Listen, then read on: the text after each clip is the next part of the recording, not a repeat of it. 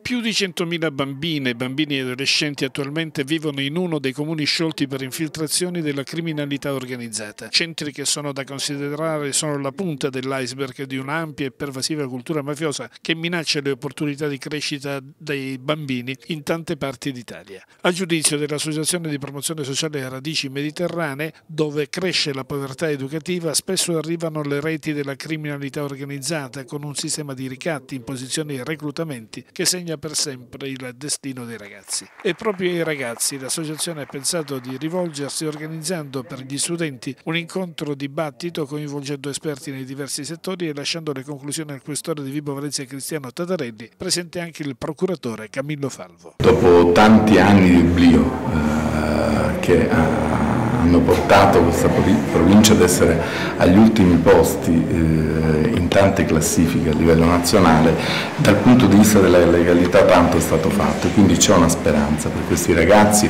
e, sono loro che possono cambiare le cose perché le forze dell'ordine, la magistratura possono fare tutte le operazioni che vogliono, ma se non si cambia il sistema, la mentalità, la risposta sociale al fenomeno della criminalità organizzata non si riuscirà mai a risolvere. Il problema e a far risollevare un territorio che ha eh, delle bellezze straordinarie ma che non riesce a sfruttare e quindi la gente va via e, e mandiamo eh, i ragazzi, i migliori ragazzi fuori per arricchire altri territori eh, impoverendo sempre il nostro.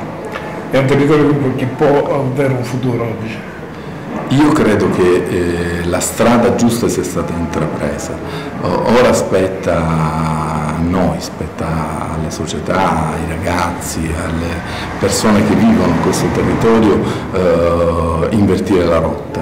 Eh, molto si sta facendo, eh, noto con piacere che c'è grande fermento attorno alla, ai principi di legalità, c'è grande partecipazione. Speriamo che tutto questo abbia un proseguo in futuro.